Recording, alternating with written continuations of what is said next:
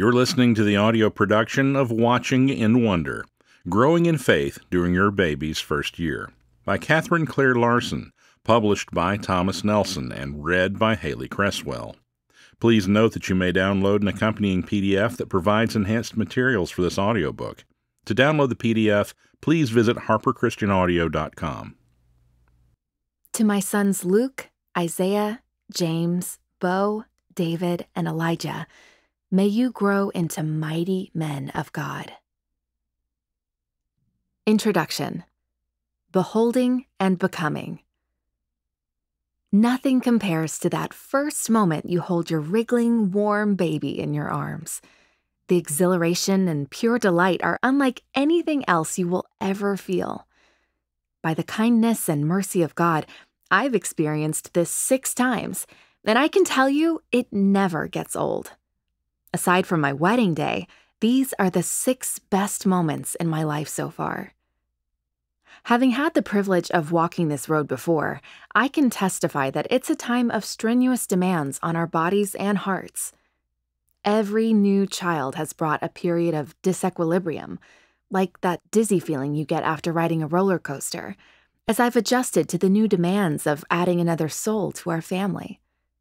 Whether you're welcoming your first baby or your fifth, it can be difficult to maintain regular, close, daily time with God with everything off balance our routines, hormones, emotions, in short, our normal. Regaining both our balance and regular time spent in the Word can be challenging. As disorienting as the first year can be, it is also a time of rare beauty and wonder. There is nothing quite as breathtaking as a newborn a new life, a new soul, a beautiful possibility whose days are yet unwritten. Like that roller coaster that takes your breath away, that first year, and the swift pace at which your little one develops, is unlike any other point in their lives. First smiles, first laughs, first scoots and crawls melt your heart. This amazing life blossoming in front of your eyes is no accident, but a carefully and thoughtfully designed creation of God. God has given you the incredibly high and holy calling of motherhood. Whether you are crossing the motherhood threshold for the very first time or approaching it again, your charge is no less sacred. You have been called to mother this beautiful child, to pray over, to cherish, and to nurture this incredible trust given to you. These days deserve remembering. Despite all the challenges, take the time to record those fleeting glimpses of wonder that lead us back to the heart of God. Record the prayers that set the tone for your child's life. You will cherish these. Finally, lean into your God given calling of motherhood, a mission of incredible importance. While you are watching in wonder as that little marvel develops before your eyes, I want to lead you to also watch with equal wonder the ways of your God. Each week, I will share one characteristic of the Father, Son, or Holy Spirit upon which you can meditate. I want you to, in the words of that wonderful old hymn, Turn Your Eyes Upon Jesus, look full in his wonderful face. These are the days we hold our little ones in our arms, admiring every facet and detail of them, watching them, cherishing them, beholding them. It is with this same feeling of awe and wonder that I want to lead you to God within these devotionals. As the psalmist David wrote, My heart says to you, Your face, Lord, do I seek. Psalm 27, verse 8. What would it mean to spend a year marveling at the face of God? What a beautiful way to begin your calling to mother this particular child. For moms of infants, the days and nights can be full. We don't have the luxury of much quiet time or even alone time. We learn to fit it in when and where we can. For me, many a nursing session has become prayer time. While washing dishes, I often meditate on a single verse of scripture thoughtfully and prominently placed at the window over the sink. Coffee and Bible go hand in hand. And when I haven't been able to balance both my gigantic study Bible and an infant, reading the Word on an e reader or phone works in a pinch. I've learned to feed my soul through worship music or a Christian podcast while folding laundry or taking the baby for a walk. In short, as moms, we must be creative and snatch time with Jesus whenever and wherever we can. In consideration of the busyness of new mothers' lives, I formatted this devotional journal carefully so that it's not too much and yet just enough.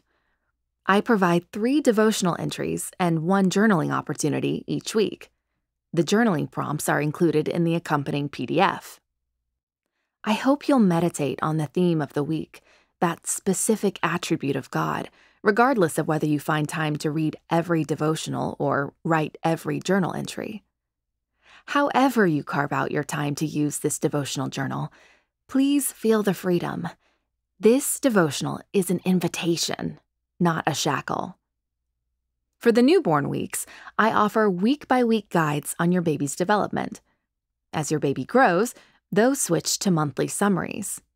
In the accompanying PDF, you can find pages for recording each month's baby milestones that you don't want to forget. But again, if those pages don't all get filled, don't stress, Mama. Chances are you were busy rocking a baby or looking into those dear little eyes. Your heart will be full, even if there are empty pages. Either way, I hope the devotions will be an encouragement to your soul. The first year of your infant's life will be full of wonderful moments, from first snuggles and smiles to those adorable, if not clumsy, attempts your baby makes to sit without toppling over, to messy experiments with solid foods. While your wonder and awe of your constantly changing little one grows, I hope your heart also grows in gratitude for our unchanging God as you study every little detail of the babe in your arms, from that dimpled chin down to those kissable toes, I hope you'll also be drawn to notice the nuances of our God and worship the one who created and sustains that little wonder. So put up your feet for a moment, dear Mama, and let's take a few minutes together to enjoy the wonder of God and this new little life given to you. The year will go fast but God has called us to seize and savor the day. Note Dear reader, you are so unique, and so is your baby. Please forgive me that I cannot write to every situation the adopting mama, the mom of a special needs child, the mom of multiples, the single or divorced mother, the widow, the foster mom, or the mother who may face the loss of a child. As I write, I pray for each parent who will read this book that though I can't speak to your specific situation in each entry, God will meet you where my words cannot. Your Newborn Developmental Guide. Can you believe it? This little one you have longed for and cradled in your heart for nine long months is finally here. For most, this month will be full of firsts first cuddles, first skin to skin contact, first feedings, first meetings with family, and more. Savor them.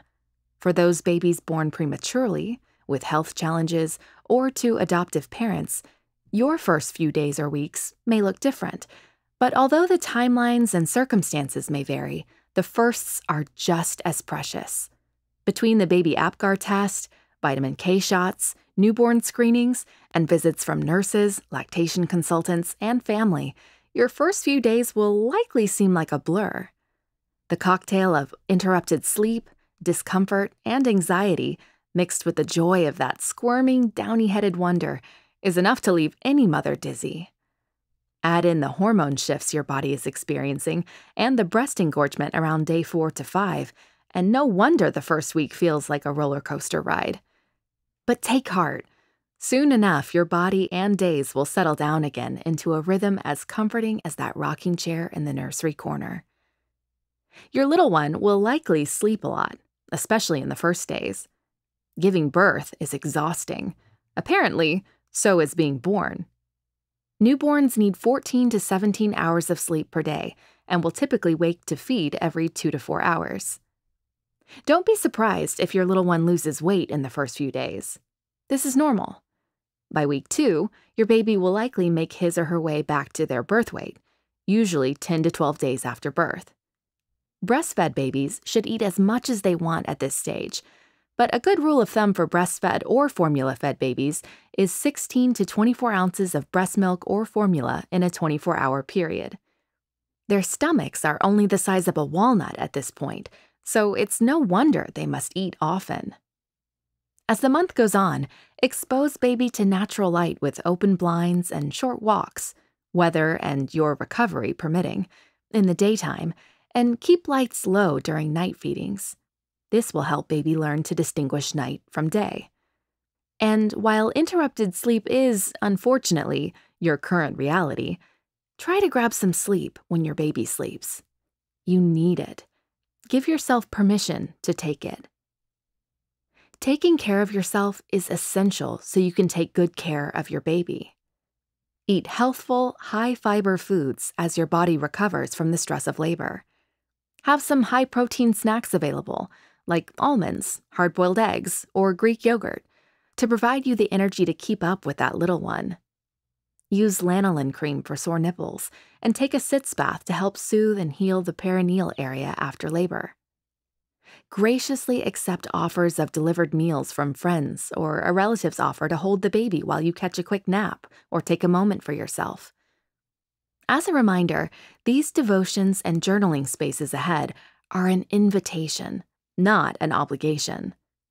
Read what blesses you, write as you are able, and trust God at His word that He gently leads those with young. Isaiah 40, verse 11. Newborn Week 1 theme Giver. Our good and perfect gift. Every good gift and every perfect gift is from above and comes down from the Father of lights, with whom there is no variation or shadow of turning. James 1, verse 17. Oh, the agony and ecstasy of baby's arrival. No matter how your baby arrived, slow and deliberate, fast and furious, with an unexpected rush to the hospital, or with a phone call from the adoption agency, your little one is here, and it's time to exhale. All those months of waiting are over, and whatever baby's birthday held for you, now it's time to give thanks to God, the giver of all good gifts, including this one so near to your beating heart. It's easy to misunderstand gratitude in today's culture. Gratitude is more than just a feeling. Gratitude should be an action. We give thanks to the one who is given to us.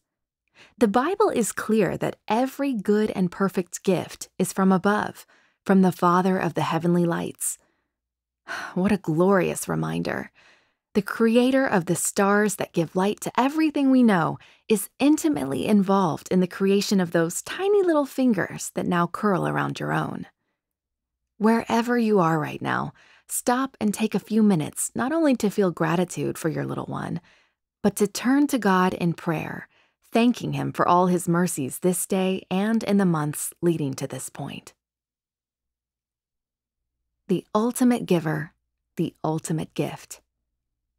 He who did not spare his own son, but delivered him up for us all, how shall he not with him also freely give us all things? Romans 8, verse 32. This week, as you welcome your little one into the world, consider God as the ultimate giver. God didn't hold anything back from us. He gave us his most precious and costly gift, his son. Let this staggering truth take your breath away. Jesus, God's ultimate gift, died in our place that we might draw near to God. This is the generosity and love of our God. He gives freely, He loves freely. He lavishes us with His very best when we least deserve it. Let us never grow numb through familiarity. Today, as you hold your own precious son or daughter, let the weight of this verse sink deep into your heart. What great love the Father must have that he would give his precious Son for us.